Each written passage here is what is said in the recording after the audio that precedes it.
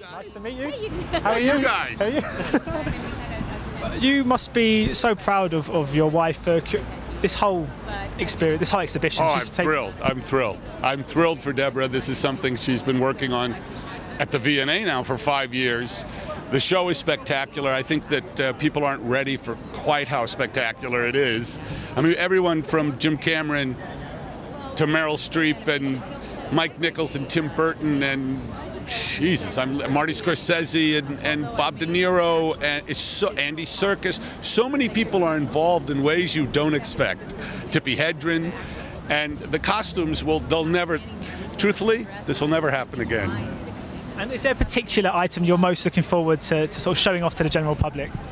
Oh, so many, so many. I mean, there's so many extraordinary things in there, but the the purpose of the exhibition really is to explain costume design because I don't think people know what the hell it is. You know, they think pretty costumes. Look at this bizarre man. Turn the camera around. There's this very see. Oh, he's gone. Okay, uh, it's my friend.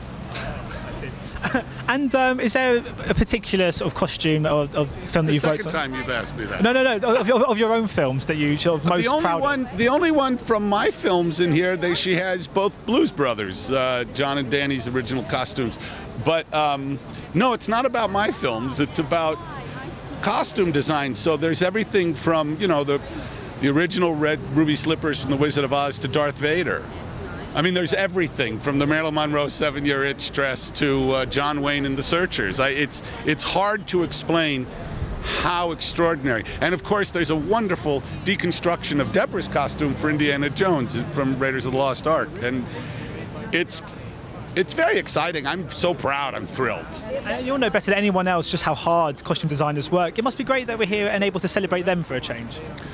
Oh, absolutely. And many of the designers are here this evening. Many of the, I'd say about probably 15 of the designers whose work is represented are here tonight. So it's exciting. Do you think we've ever had this many sort of more important costume designers under one roof? Not at the V&A.